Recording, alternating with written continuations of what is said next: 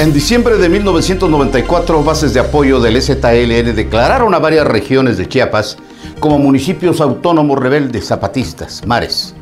Territorios donde gobiernan los consejos autónomos los cuales procuran mejorar sus condiciones de salud y educación de las comunidades indígenas zapatistas. La declaración de autonomía de estos municipios hace eh, casi 24 años impidió que los acuerdos de San Andrés Larrainzar fueran firmados por el gobierno federal. Sin embargo, al paso de los años, los mares han construido su propia organización. Déjeme decirle que representantes de 23 municipios autónomos rebeldes zapatistas se pronunciaron a favor de que los comicios del primero de julio transcurran en paz y civilidad, a la vez que manifestaron su apoyo al proyecto de Roberto Albores Glisson, candidato a la gubernatura de Chiapas por el PRI y el PANAL. Mario Vázquez, integrante de la Unión Regional de Ejidos Marginados en el estado UREME, organización perteneciente al Congreso Nacional Indígena. Estoy de acuerdo en lo que dice Chiapas no puede seguir a como se hoy.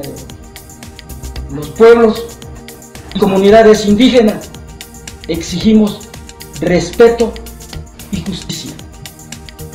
Creemos que Roberto Albores Gliso será un aliado del campesino, será un aliado de los que no tienen. Por eso, vamos con todo, con él y hasta la victoria.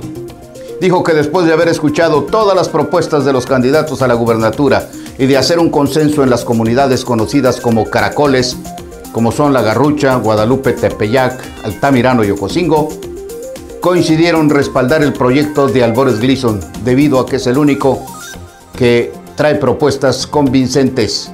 Por su parte, Martín Cosme Enrique Castillo, presidente de la Fundación Francisco Enríquez Guzmán, señaló que Chiapas necesita de una verdadera justicia social que termine con el hambre, la exclusión y la falta de oportunidades. Soy Daniel Flores Meneses, esta fue mi crónica.